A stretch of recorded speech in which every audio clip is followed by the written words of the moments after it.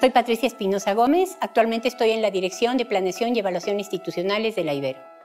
Bueno, la mirada de la Ibero se relaciona con la realidad. La Universidad Iberoamericana es una institución que tiene sus puertas y sus ventanas abiertas a la realidad y lo que pretende es cambiarla. Una mirada inteligente mm, te permite ver más allá, te permite analizar el problema, te permite ver cuáles son los, las principales complicaciones que tiene y mm, te permite entrar en temas complejos. Una mirada crítica es la que de alguna manera ve todas las perspectivas, analiza la visión completa y a partir de esto hace un análisis que te permite realmente ver la realidad o algo más cercano a la realidad.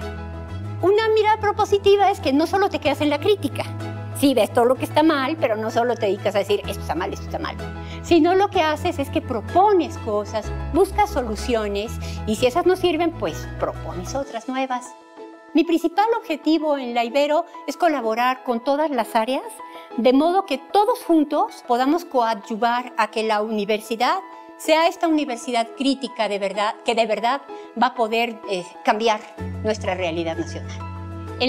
Creo que los logros más importantes de este año son, por supuesto, la realización de la planeación estratégica, que se hizo a partir de todos los logros y de todas las propuestas de la comunidad universitaria.